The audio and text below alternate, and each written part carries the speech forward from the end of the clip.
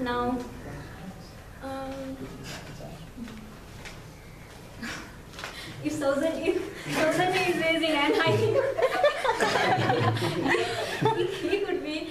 Um, yes, uh, I get influenced by Susan. The first time I met him, the first time I met him, it was at um, uh, in one of the restaurant at Hamil. he was in his project team. He was in his project team, and I really found him um, speaking well and uh, giving uh, giving speech.